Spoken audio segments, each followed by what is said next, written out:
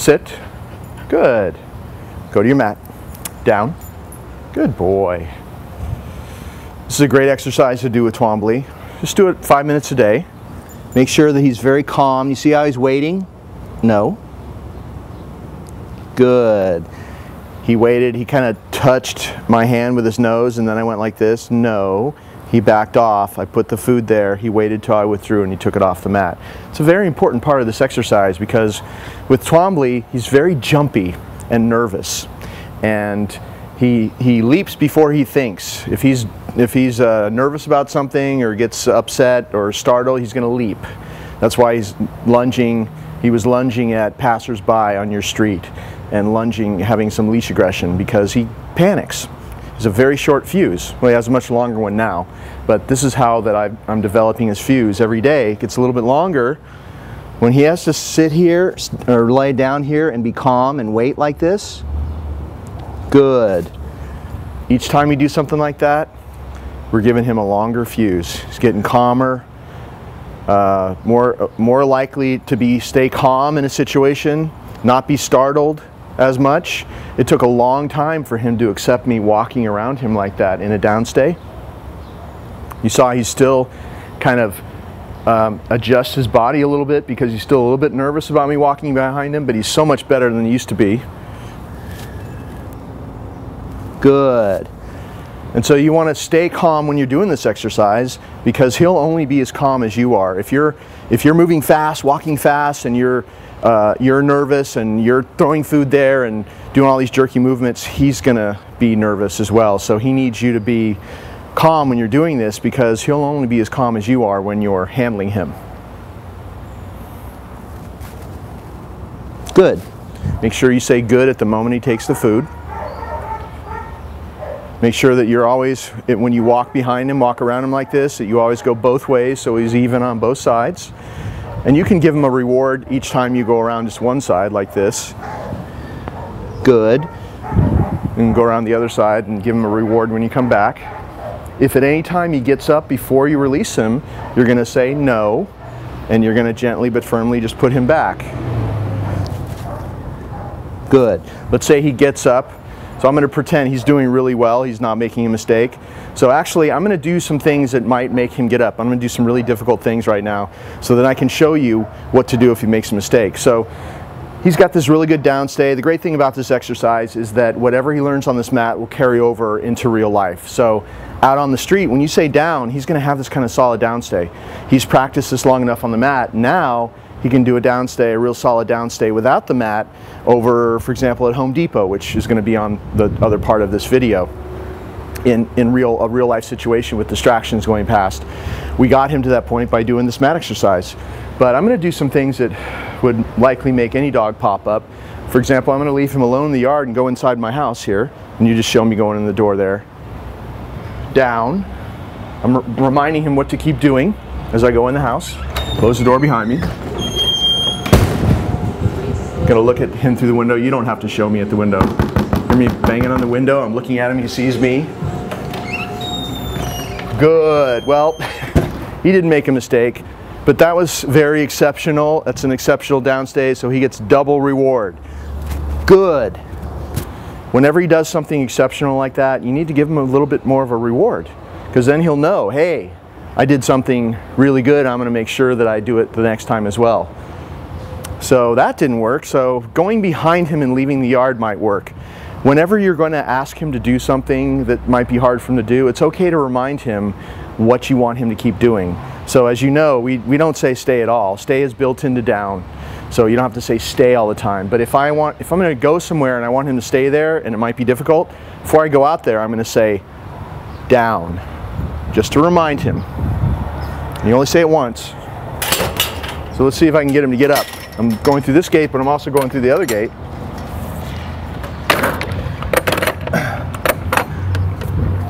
Well, that didn't work either. He's still down there. So we're just, I'm just gonna have to show you how to handle a mistake in another way.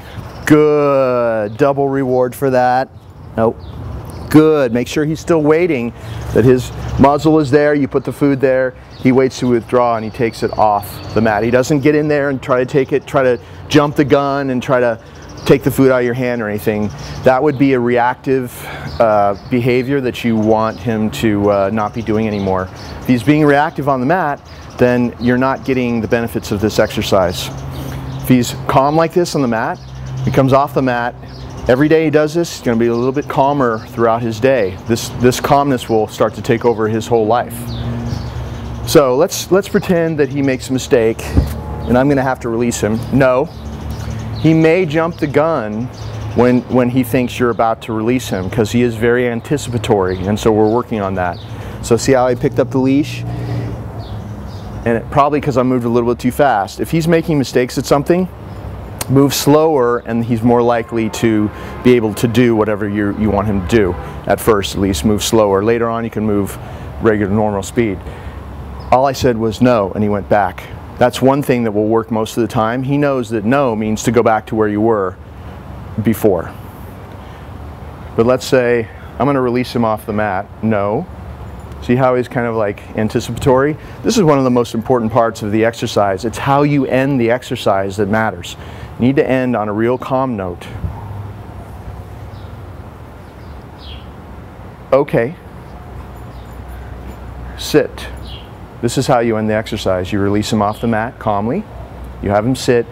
You always release him out of a calm sit stay. You never release him off the mat He's because he's going to launch out of the down stay and take off.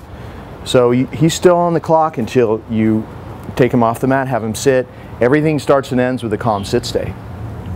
And make sure that he waits. There, no, there's no pawing your hand or licking your hand. He needs to wait there calmly until you pat his chest and you release him. Go. That's how you, you finish the exercise. So now he's on free time, but I want to show you what to do if he makes a mistake. Okay, come on. So he's on the mat. Let's say he gets up. You're going to say no, and you're going to step into him. Okay. Let's say that you did something, he got up. You say no, you pick up the leash. All I said was no. I didn't say down again. You already said down once when you sent him to the mat. It's really important that he know that when you say it the first time, it could hold, that one time you said it will hold for five minutes if need be.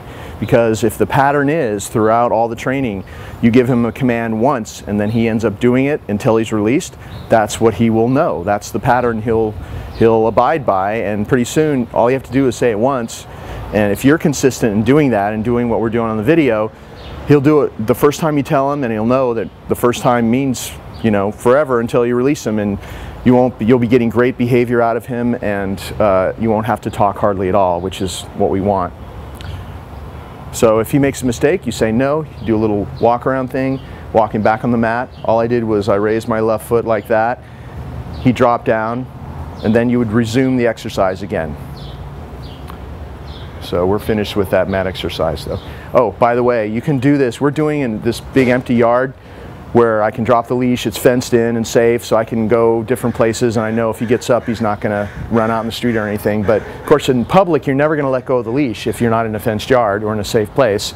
But you can also do this in your living room, do the same thing. I went inside the house. When you're living room, you can leave the house, knock on the door, do, do things like that. He'll do that as well, and we'll practice that at your house as well. But you can do this mat exercise in a lot of different places. Once he's perfect in one spot, then you want to, it's time to change the exercise, make it a little bit harder for him to handle. Because if you only did the exercise in one place and he was perfect all the time, eventually he'd just start going to sleep because it wouldn't be challenging. So like once he's perfect in the yard, you want to change the direction of the mat or put the mat over there or put the mat in a different yard or in a, in a, different room or something like that. So always be pushing the envelope and he'll always be getting better and better and better if you, you're always just uh, making it a little bit harder. As soon as he's good at something, you want to change things up so it's a challenge for him. Okay.